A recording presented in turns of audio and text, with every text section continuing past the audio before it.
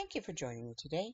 My name is Mary Higgins, and I'm a Girl Experience Facilitator here at Girl Scouts of Central California South.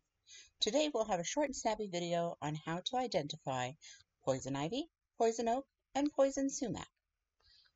When you're out hiking with your Girl Scout friends, make sure and follow our standard safety precautions of wearing closed-toed shoes, and it's also a good idea to wear long pants if you think you're going to be in an area that has either poison ivy, poison oak, or poison sumac. It's very important when you go out into the outdoors to be aware of your surroundings and to know what plants are around you.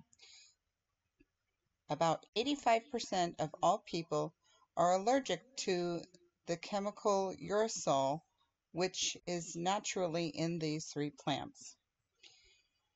Now, if you touch um, the urushiol in any of these plants, your skin will get red and itchy and swollen, and sometimes it may take like a whole day to even show up on your skin.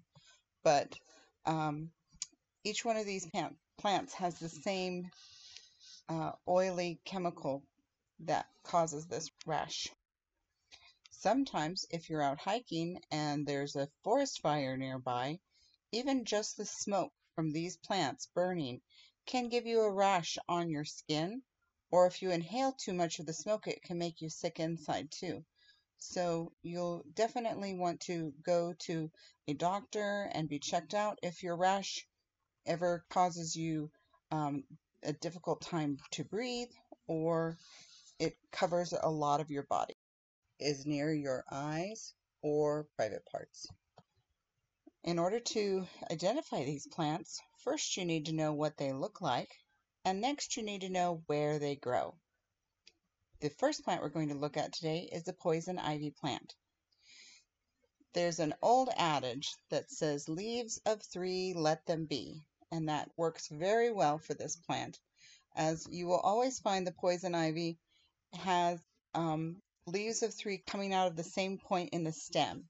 Poison ivy grows over the most of the United States, except for Alaska and Hawaii, has no poison ivy.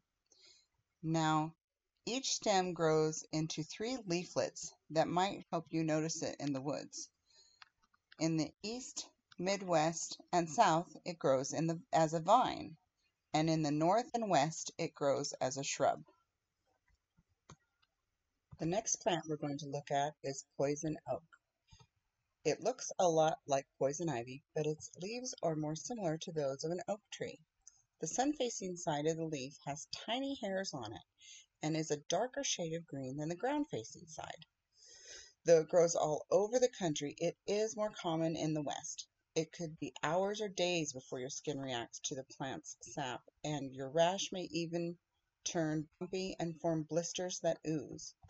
You can see that uh, in the spring they come out sort of red leaves and even you can get exposed to poison oak when it has no leaves at all and you'll notice red stems. If you see red stems, that's still poison oak and you can still get a rash by touching them. Now, poison oak can grow in many different forms. Sometimes it can look like a tall shrub, like even 12 feet tall. Sometimes it can look like a vine climbing up a tree or spreading across the ground.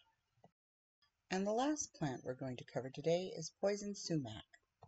This woody shrub grows in wet, swampy areas all over the United States. Each stem has 7 to 13 leaves and a cluster of berries that droop down low. A closer look at the leaves will show that they are smooth and not sawtoothed or have little zigzags on the sides. And also the stems are red. If you ever think you have been exposed to any of these plants, it's very important to wash your hands with an oil removing soap as soon as possible to prevent the spread of this to other parts of your body and make sure and clean underneath your fingernails as that's a place where the oil can hide. The next plant I want to share with you is jewelweed. Mother Nature sometimes provides a remedy for plants that grow right next to each other. This plant can often be found in the same environment as poison ivy, poison oak, or poison sumac, and the Native Americans would use this as a remedy for the rashes.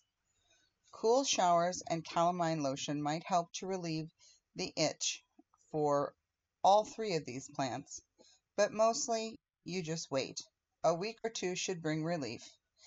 Again, see your doctor if your rash is on your face or in your private parts, if it covers more than 25% of your body, if you notice pus from the rash, or you breathe in smoke from the burning leaves. You'll definitely want to seek medical treatment. When you're out hiking, especially if you take your four-legged friends with you, usually dogs do not get a poison oak rash or poison ivy or poison sumac because of the hair in their coats.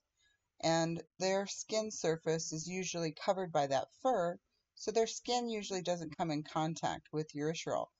But the oil can stay on their fur, and when you go to pet them, you can get the oil on your skin from your animal.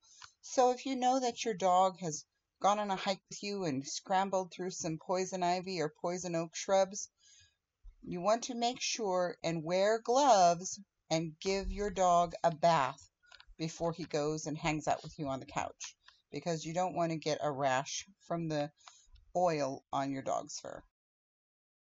So now that you've learned to identify three different plants, poison ivy, poison oak, and poison sumac, you are ready to go in the outdoors and be able to observe which plants are around you and how to stay safe.